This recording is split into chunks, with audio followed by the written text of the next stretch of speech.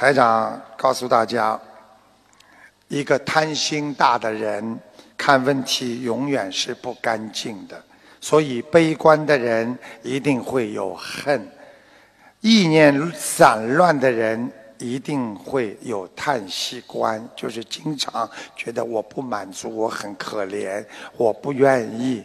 所以姻缘不好的人，他一定太贪了，会得愚痴。障碍多的人缺少佛心。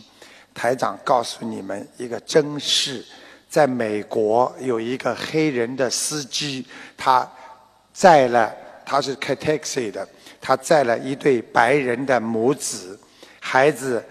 啊，白人的孩子就问他的妈妈：“妈妈，妈妈，为什么司机伯伯的皮肤跟我们不一样的？”母亲说：“孩子啊，上帝为了让世界缤纷色彩，创造了不同颜色的人呐。到达了目的地之后，司机坚持不收钱。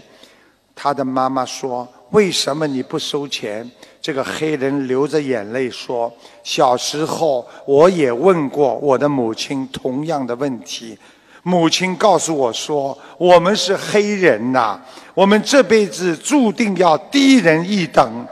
如果我母亲换成你的回答，今天我一定会有不同的成就。”所以，思维正确会产生正确的行为。学佛人首先要随缘，看到自己的优点，因为我们是佛的后代，是具有佛性的众生。珍惜现在拥有的一切，我们才会真正的知足，才会真正的快乐呀。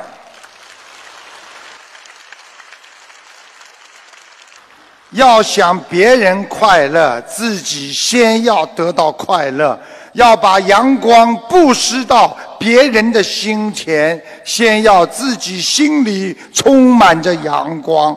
学佛救人，首先要让自己佛性长存，佛德永驻。唯愿久住沙城结呀！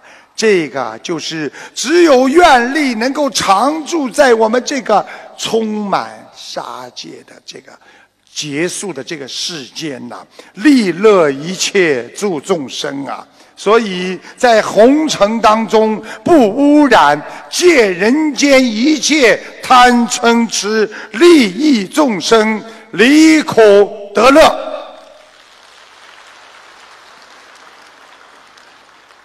有位哲学家曾经说过一句话：“人生就像一只鸟，不拼命的飞，它会摔死；拼命的飞，它会撞死。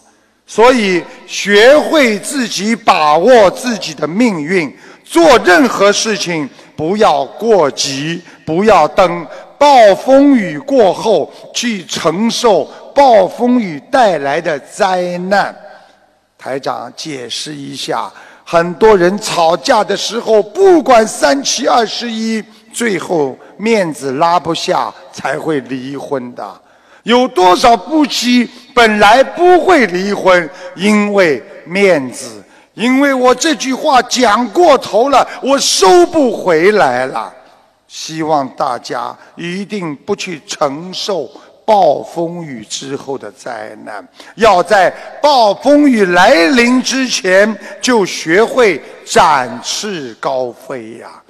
学会自己太太要发脾气之前，赶快出去 shopping 买东西呀！所以佛说了一句话：人从。爱欲生忧啊！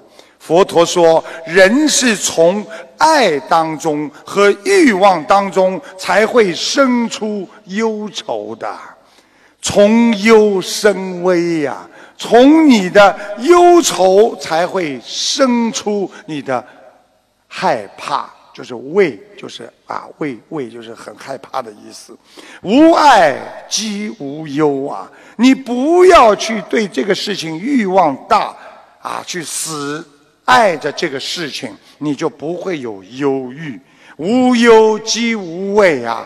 如果我没有忧郁，我一定是大无畏的。所以去除人间一切不必要的贪爱，这是学博人的根本呐。